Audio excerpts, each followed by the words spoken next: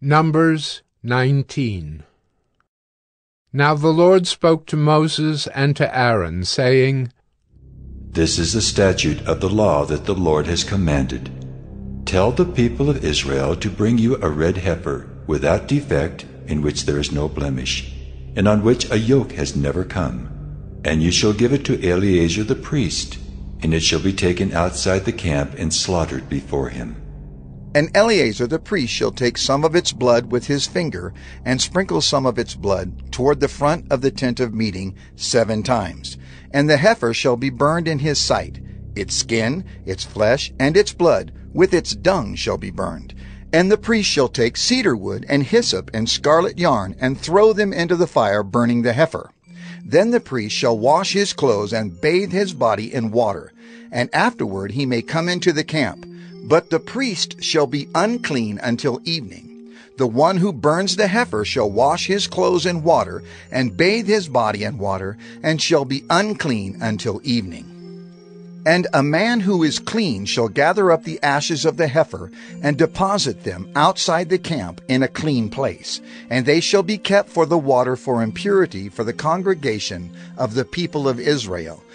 It is a sin offering. And the one who gathers the ashes of the heifer shall wash his clothes and be unclean until evening, and this shall be a perpetual statute for the people of Israel, and for the stranger who sojourns among them.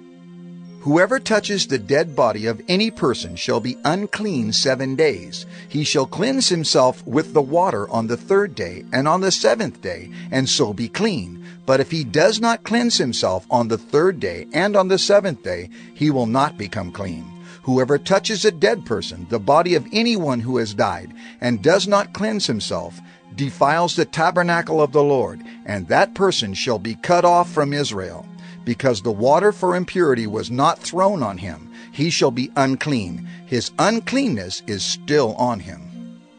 This is the law when someone dies in a tent.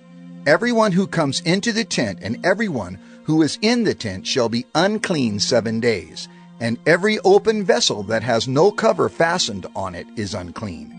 Whoever in the open field touches someone who was killed with a sword, or who died naturally, or touches a human bone, or a grave, shall be unclean seven days. For the unclean they shall take some ashes of the burnt sin offering, and fresh water shall be added in a vessel. Then a clean person shall take hyssop and dip it in the water and sprinkle it on the tent and on all the furnishings and on the persons who were there and on whoever touched the bone or the slain or the dead or the grave. And the clean person shall sprinkle it on the unclean on the third day and on the seventh day. Thus on the seventh day he shall cleanse him, and he shall wash his clothes and bathe himself in water, and at evening he shall be clean. If the man who is unclean does not cleanse himself, that person shall be cut off from the midst of the assembly, since he has defiled the sanctuary of the Lord.